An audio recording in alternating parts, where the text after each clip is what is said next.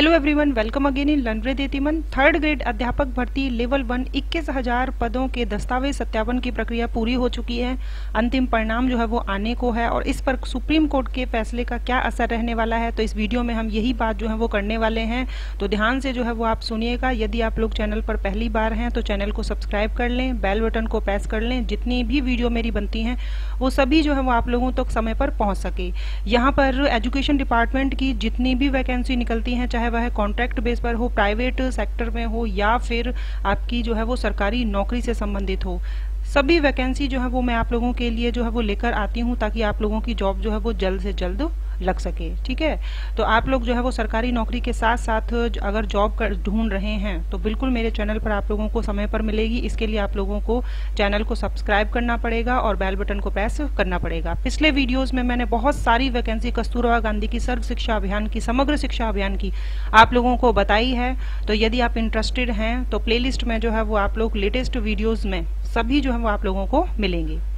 तो चलिए बात कर लेते हैं हम। यहाँ पर अंतिम परिणाम पर जो है सुप्रीम कोर्ट के फैसले का क्या असर रहने वाला है इन इक्कीस हज़ार पदों पर। तो बहुत अच्छे से जो है वो ध्यान से सुनिएगा, अध्यापक लेवल वन के इक्कीस हज़ार पदों की भर्ती में जो है वो अब तेज़ी आएगी। अभी जो बीएड वर्सेस बीटीसी जो विवाद हुआ है और सुप्रीम कोर्ट का जो फैसला आया है तो उसका जो है वो यहाँ पर क्या असर पड़ेगा? तो देखिए, कोर्ट के निर्णय से इस पर जो है वो कोई असर नहीं पड़ेगा। क्यों नहीं पड़ेगा? क्योंकि इस भर्ती के लिए केवल बीएसटीसी वालों से ही आवेदन मांगे गए थे। इसके लिए बीएड वालों से आवेदन नहीं लिए गए थे और सुप्रीम कोर्ट के निर्णय से भविष्य में होने वाली अध्यापक लेवल वन की भर्ती को लेकर स्थिति स्पष्ट हो गई है। इसमें केवल बीएसटीसी वालों से ही आवेदन लिए जाएँगे और भर्ती के अटकने की संभावना जो है वो बिल्कुल नहीं रहेगी। बीएड वालों के पास लेवल वन की पात्रता भी नहीं, इस निर्णय से प्रदेश की भर्तियों पर कोई असर नहीं पड़ेगा, क्योंकि पहले से ही प्रदेश में लेवल वन में बीएड वालों को शामिल नहीं किया जा रहा। लेवल वन में केवल बीएसटीसी वाले ही शामिल हैं। राजस्थान माध्यमिक शिक्षा बोर्ड की ओर से जारी रीड प्रमाण पत्र भी बीएड वालों को केवल लेवल टू के लिए जारी किए गए। लेवल वन की पात्रता का रीड प्रमाण पत्र जो है वो जारी नहीं किया गया।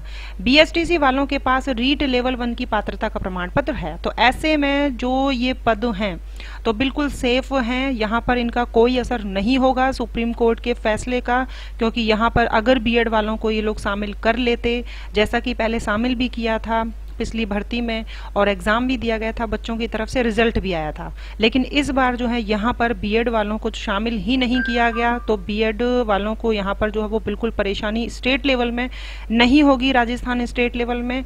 तो यहाँ पर जो है, केवल लेवल टू के परिणाम जो है, वो बी वालों के लिए आए हैं। तो बीएसटीसी वालों के पास जो वो केवल रीट लेवल वन की पात्रता का प्रमाण पत्र है और इस वजह से इस भर्ती पर कोई असर नहीं होगा। ठीक है? तो यहाँ पर बीएसटीसी वाले जो है, वो बिल्कुल सेफ़ है। अब जैसे ही कोई लेटेस्ट न्यूज़ आती है लेवल वन की लेवल टू की या फ़र्स्ट ग्रेड सेकेंड ग्रेड भर्ती की तो वो सारी सूचनाएँ जो है वो मैं आप लोगों तक जो है वो बिल्कुल जल्द से जल्द पहुँचाने की पूरी कोशिश रहेगी मेरी। Thank you